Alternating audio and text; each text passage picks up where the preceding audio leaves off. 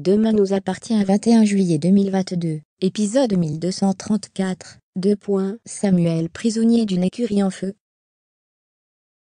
Renaud s'était promis de ne pas revenir au Hara, mais finalement il y vient pour son fils. Un drame se déroule au Hara avec l'incendie. Bar retrouve la liberté suite à la culpabilité de Robin. Renaud finit par venir au Hara, pour faire plaisir à Samuel suite à leur discussion, il lui présente Paul le palefrenier. Ce dernier se révèle, fuyant quand il veut savoir s'il a connu Diane. A de Vitraine, pour refaire la toiture des box extérieures, Solange envisageait de faire les travaux. Angie a greffé Nathan, pendant qu'il faisait l'amour. Elle demande à son petit ami de garder son t-shirt à la paillote, pour qu'on ne se doute pas qu'elle lui a fait ça. À la paillote, Charlie voit Nathan qui a très chaud, mais pourtant il garde son haut, et voit les griffures et le charrie.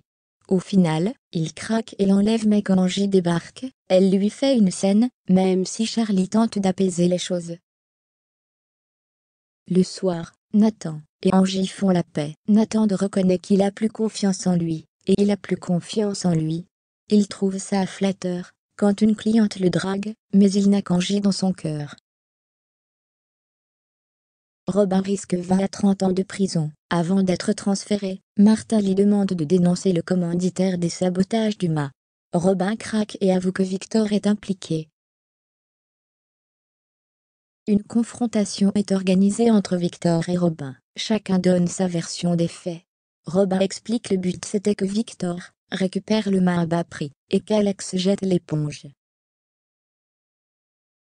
En échange, Victor s'engageait à lui donner 100 000 euros, et il serait nommé chef d'atelier. Victor dit qu'il voulait racheter le mât pour en faire un hôtel. Ces paroles contre paroles, Damien a étudié les fadettes de Brunet, il n'y a rien. Martha doit clôturer l'enquête, et Victor sort libre. L'heure de sortie de prison pour Bar a sonné, Roxane et Sarah viennent le chercher. Bar prend des nouvelles du bébé, et avoue à ses amis, que désormais il veut reprendre sa vie en main. Il va faire tout ce qu'il faut, afin de surmonter le décès de Louise. Le soir, il vient dîner chez les filles, et vient avec du jus de fruits, pour éviter la tentation de l'alcool. Bar regarde plus en détail l'échographie, Victor rejoint Timothée et Elsa, il lui dit que la police ne croit pas en sa réhabilitation, car il est un ancien prisonnier. Il lui dit qu'il lui a promis qu'il ne ferait plus de mal à personne. Timothée a quelques doutes, car de toute manière, son père ment tout le temps. Paul décide ensuite d'emmener Samuel, dans l'écurie où la toiture doit être changée, car selon l'expert au prochain coup de vent ça risque de s'envoler. Paul part chercher le devis, mais la porte de l'écurie se ferme derrière lui, et un incendie se déclenche. Samuel se retrouve bloqué, il appelle à l'aide.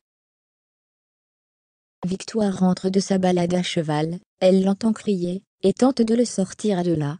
Elle part chercher de l'aide, mais Samuel s'écroule, il tombe inconscient à cause des fumées.